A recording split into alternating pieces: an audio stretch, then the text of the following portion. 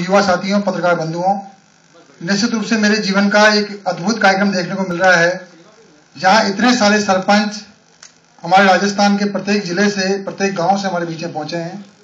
निश्चित रूप से पटेलन का एक प्रयोग जो विपिन तिवारी जी ने और इनकी पूरी टीम ने किया है, बहुत प्रशंसनीय है।